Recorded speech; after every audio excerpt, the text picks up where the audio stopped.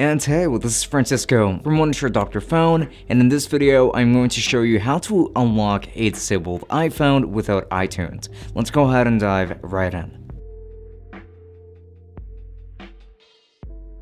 So today, I'm going to teach you how to unlock a disabled iPhone, and in this case, it's going to be an iPhone 12. If you forgot your password or your touchscreen is disabled for some reason, then it might be difficult to unlock your iPhone, but there's nothing to worry about because you're going to know everything that you need to know about being able to unlock your iPhone after watching this video. And as always, we're going to be introducing a couple of methods. In this case, we're going to be showing off two methods. And if you want to do this the safest way possible, in other words, if you don't want to risk causing any kind of damage to your iOS firmware while resolving this issue, then you're probably going to want to go with Dr.Fone Screen Unlock tool. So first off, launch Dr.Fone Screen Unlock on your system. And if you don't already have Dr.Fone installed, then do make sure to reference the link in the description in order to make sure to download that. And once you're in from the welcome screen, just go ahead and select the option Screen Unlocked in order to begin. And now using a lightning cable, do make sure to go ahead and connect your iPhone to your PC and then just wait a while as the application will recognize it automatically. And by a while, I really just mean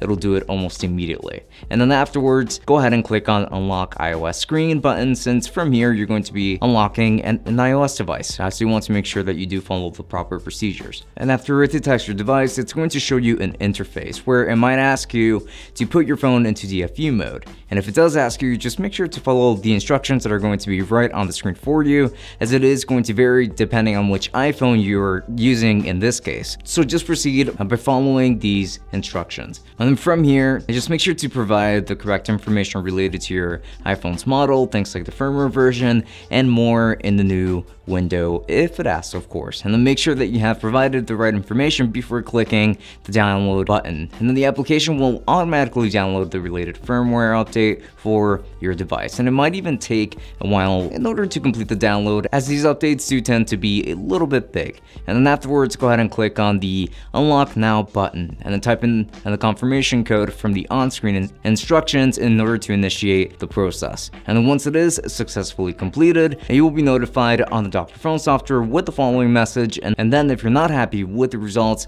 and you can just go ahead and click on the try again button in order to repeat the process once more.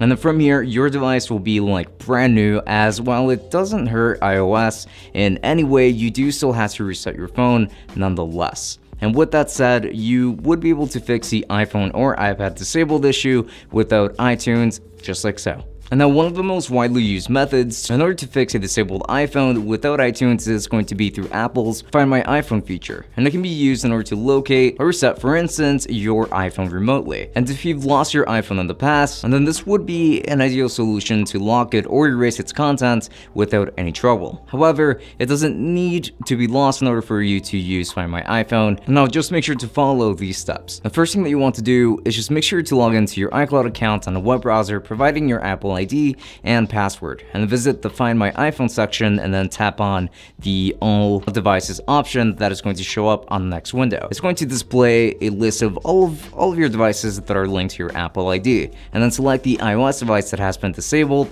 In this case, you're going to pick the iPhone 12 or I suppose I'm going to pick the iPhone 12. And then from here, you can go ahead and locate the device and force it to play sound, lock it, or erase it if you want to. To fix a disabled iPhone or iPad without using iTunes, iTunes, you do have to erase your device. So do make sure to click on the erase iPhone option and then confirm your selection. Wait for a little while as the Find My iPhone feature will remotely erase your iOS device and needless to say, it will also get rid of that lock screen that you've been dealing with for quite some time now and after following these solutions, you would be able to use your iPhone and bypass its passcode without any kind of trouble. And now when you know how to unlock a disabled iPhone without iTunes, you can simply use your device as per your requirements, of course. Now go ahead and pick your preferred option to fix your iPhone without iTunes as we have just offered these two methods. And that's it. Those have been two methods of unlocking your, your disabled iPhone without using iTunes at all.